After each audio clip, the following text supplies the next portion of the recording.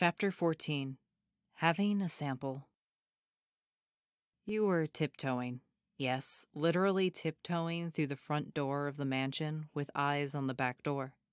You never more wished the back property did not have a high fence or the fact you still didn't have a key to the outside gate. You were totally getting a copy of that key before the day was over. It was around seven in the morning, and you did not want anyone catching how you spent all night at Brian's place, especially Blue. Just when you thought escape was in your grasp, the back door only five feet away, a sexy baritone voice filled the air. Well, look who's doing the walk of shame, or should I say, tiptoeing it. You sighed as you turned, seeing Red leaning against a wall grinning no doubt at the display you put on when trying to sneak to the back door. You had been so focused on it, you didn't even notice him there. He walked up to you, coming within your personal space before you could make a sound. Your cheeks turned red as you heard him take a deep sniff right next to your ear. Yep, still as virgin as a nun's bottom. What the? Oh, God. You nearly leapt away from Red, face turning even redder. Could skeletons seriously tell by smell whether you had ever actually. The thought was interrupted from seeing Red literally collapse to the floor, howling with laughter as he grabbed his ribs. Christ, I can't believe you fell for it. You actually thought I could tell by smell? So, so you can't actually smell whether I, uh, did it? You muttered, desperately needing to know. The thought of Sans, Papyrus, Blue, or any skeleton able to pick up your sex history with a sniff was terrifying. Red finally got himself under control, chuckling as he got up. Nah, but I got news for you. I think anyone who got to know you longer than a week can tell you're a virgin. And I knew you didn't do the dirty deed since you weren't walking funny. Red said, wiping his eyes. You don't know that, you said, crossing your arms. Damn it, now you were starting to wish you went all the way with Brian, if only so you didn't feel the need to die of pure embarrassment now. Hey, now don't get mad. It's a good thing you didn't put out on a first date, Red said, grin still in place as he approached and put both hands on your shoulders. The large, heavy hands squeezed your shoulders gently, his face coming within inches of yours. But if you want some tips before it happens, let me know. Or better yet, we can practice it so you know for sure what you like or don't like. Red said, warm cinnamon breath wafting across your face. What made you shiver was how all teasing and joking disappeared with the words. His tone was totally serious, no joking being done with this proposal.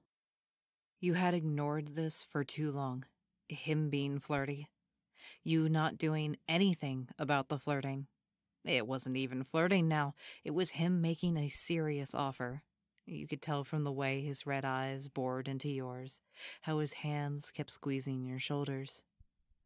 You swallowed and took a step back, slowly opening your mouth to ask a question you just couldn't bring yourself to ask before a question you knew you needed an answer to before this got further out of hand. What about when Tiffany returns? The silence couldn't have been more obvious. You both knew you weren't asking if the proposal was still there if Tiffany returns. You were asking for some insight as to how things were going to be. He didn't look angry, though, or irritated. If you had to put a name to the expression, the way he smiled, you'd say he looked proud. Good for you, kid. About time you made sure to set the record straight.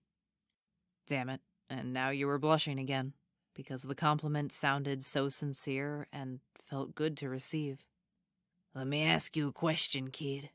What do you think's gonna happen when she gets back? I think she's going to want everything to go back the way it was, including me not being here. I asked you what would happen, not what the chick wants to happen. There's a good chance both are the same answer, you said, suddenly having trouble looking at him.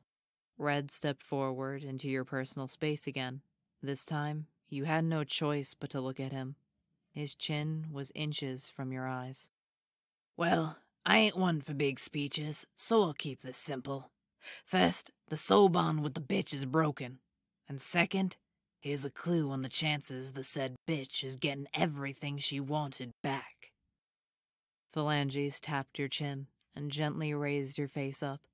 Sharp teeth gently brushed against your lips as a tongue slipped into your mouth. You didn't even realize it was there until the warm flesh was moving against your tongue affectionately.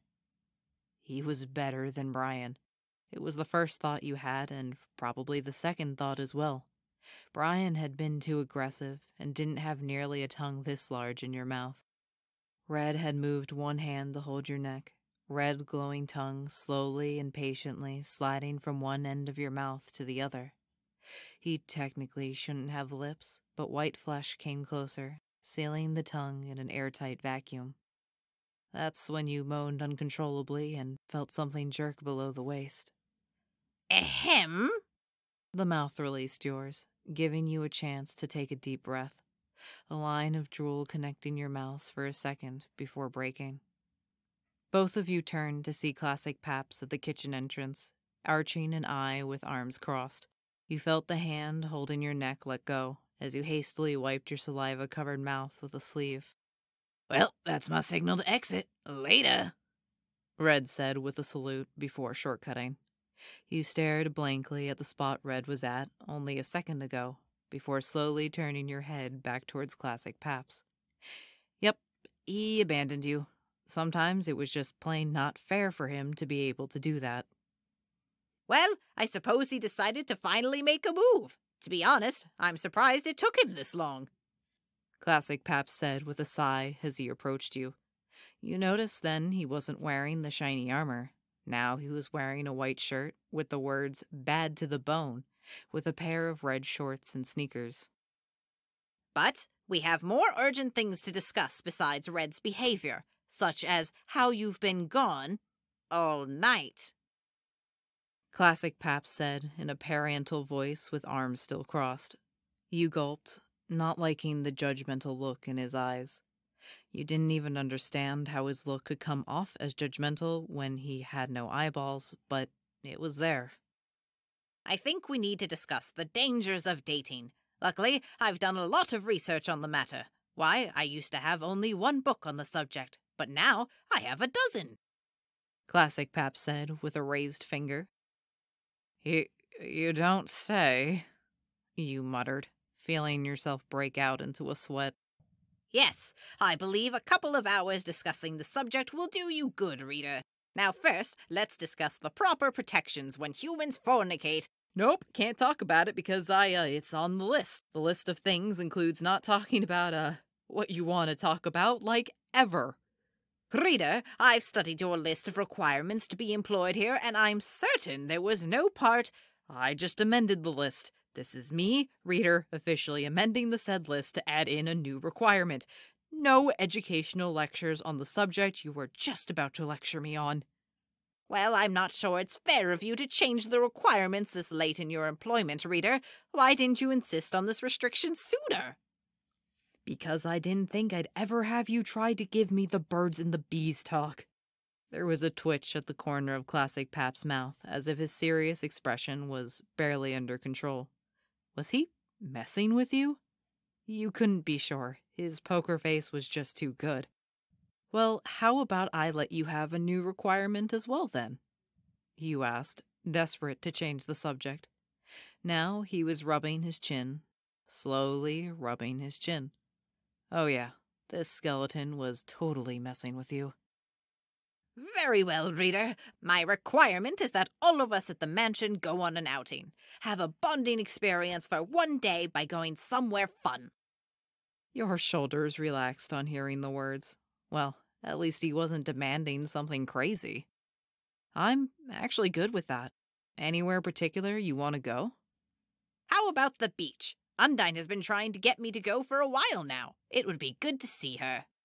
Classic Pap said with a genuine smile. You returned the smile, nodding. At this point, you probably would have agreed to anything just as long as it got away from the word fornicate. Excellent. Let's do it in a week. I'll share the news with the others. Classic Pap said before lifting you up in a hug. You nearly yelped, but soon returned the hug. Yahoo, cute guy. You listening? Oh, sorry, you said, trying to focus on Brian, who was seated right across from you. It was only a couple of days later, and you were on your second date. A lot had happened between those two days, though. You shared the news of the beach with Sans and Papyrus, quick to note it was a trip Undyne would show up at. There wasn't a need to talk about them going because it just wasn't happening. Sans and Papyrus both suffered permanent, crippling blows from Undyne. Seeing a different version of her was not going to be a vacation for them in any way. You promised them an outing afterwards, something special for just the three of them. Black told you Scott had turned himself in to the police, and so escorting would no longer be necessary. But you both were still doing the self defense training, which usually involved you dodging bones. Red hadn't said a word about the kiss and pretty much acted like nothing happened and you were too cowardly to bring it up. The idea of romantically being involved with a skeleton was foreign after the mess with Blue. Going out with Brian felt safe. Yeah, safe was good. Let's stick with safe. Red finally gave you back your Honda, which felt like it had triple the horsepower now. You were pretty sure his little tweaks to your car weren't so little. Now you were at Grillby's on your second date. Brian had really wanted to come here after hearing your stories about monster drinks. You were going to totally blow this date, though, if you didn't stop daydreaming about recent events. What will it be, gentlemen? Grillby asked as he approached. Brian stared for a second, and you couldn't really blame him. Seeing a fire elemental for the first time was pretty much a shock to any person, even if they knew about monsters. You politely coughed, which jerked Brian out of his state. He blushed before turning to you. How about you order first, reader? I'll have your burger with fries, and also the Will-O-Wisp drink, you said with a grin. The Will-O-Wisp was the citrus lime lemon monster drink you had twice so far. Given the magical balls of light which float and glowed in it, it was a suitable name. You heard Grillby was even going to put it on the permanent menu, a monster drink for humans who wanted something not too extreme. Of course, no cost for it given how you inspired me to come up with it. Your friend here can have one free as well if he'd like. Awesome. Can't wait to taste it.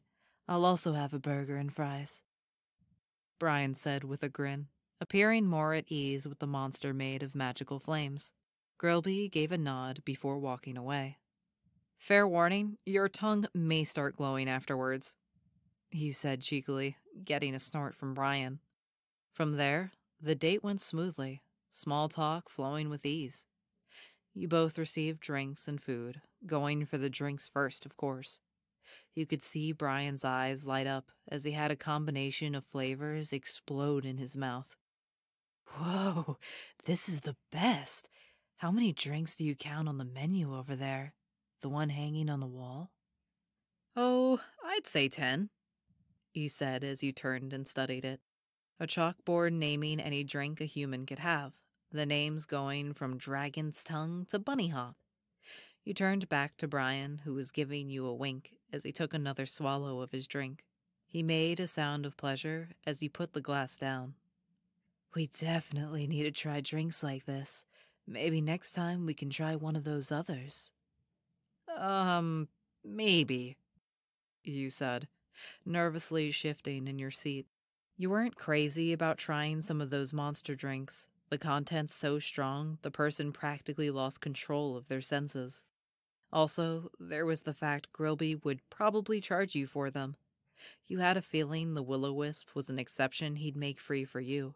It didn't mean he'd make every monster drink free, and most of those drinks were priced in the hundreds. I can't wait. I bet they're just as awesome.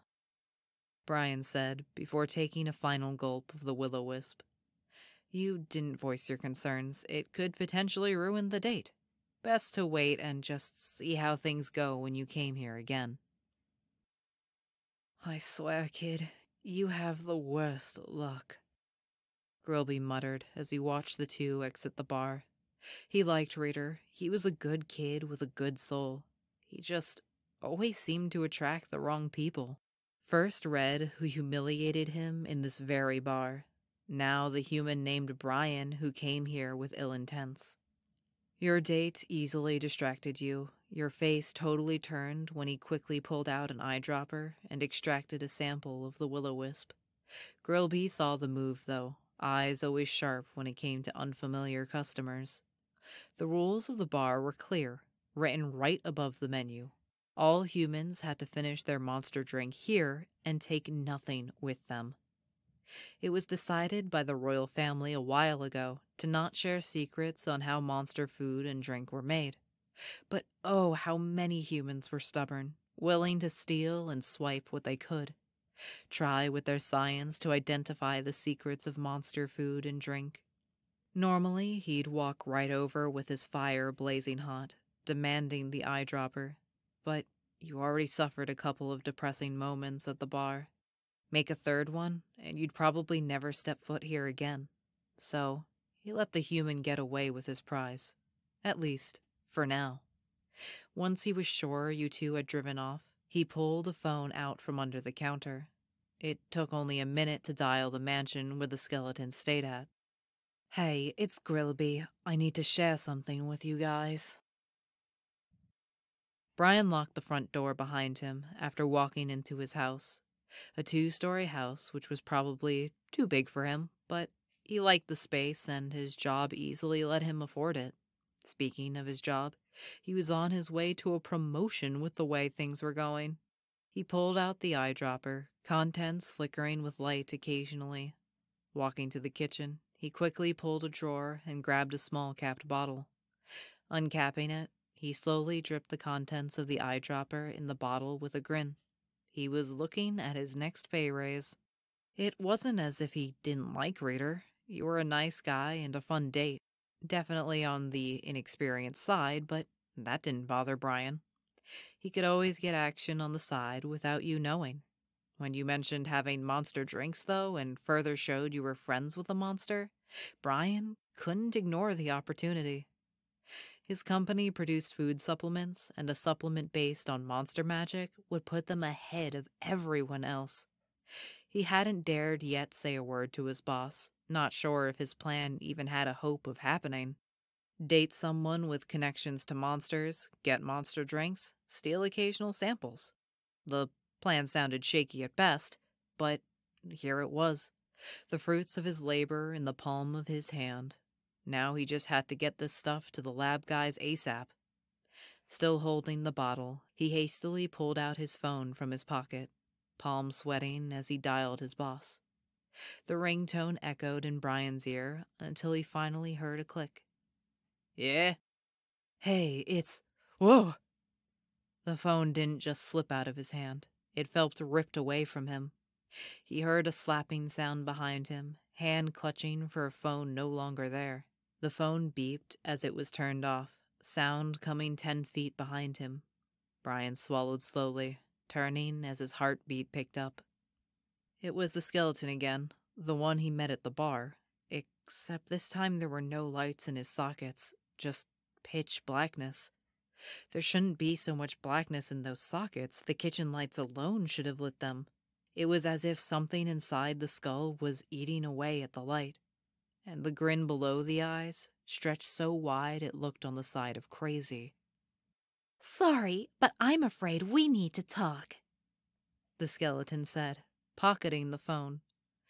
What was his name again? He totally forgot. Wasn't even sure if it was given back at the bar. Wait, why did he give a fuck what his name was? It was in his home, in his home with just the two of them. You're trespassing, Brian said shakily, the words high pitched with fear. And you're a dirty liar and a thief. The words, which somehow shook Brian's soul, came with a bony hand gesture. Blue light surrounding the bottle in his hand, and it flew to the skeleton. He grabbed it midair, taking a second to study the contents. Not that I'm one to talk. I mean, I hurt Reader as well, but golly, you took it a step further. You planned to betray him from the very beginning. The skeleton said as he pocketed the bottle. It was finally hitting Brian. There was a monster in front of him, a monster who was bigger than him and knew magic, could probably break his neck with a gesture. Look, I'll, I'll just leave him alone, okay? S- say it won't work out, Brian said, raising his hands in a peaceful gesture. He thought for a second of grabbing a kitchen knife, then instantly discarded the idea. It was a skeleton, for God's sake. What was he going to stab for? It wasn't like the thing had any vital organs. Oh, have a nice guy break up with him only after two dates? No, no. He's just now getting some confidence. It's important we keep Reader happy, not let him get depressed. The skeleton said, the grin on his face stretching out even more, making Brian shudder. Right, I'm totally good with keeping Reader happy. Uh, what can I do? Brian asked, sweat breaking out on his neck. The skeleton stepped closer until its breath brushed against Brian's face. The smell of mint might have been nice, if not for the sockets filled with blackness, inches from his own eyes. I thought you'd never ask.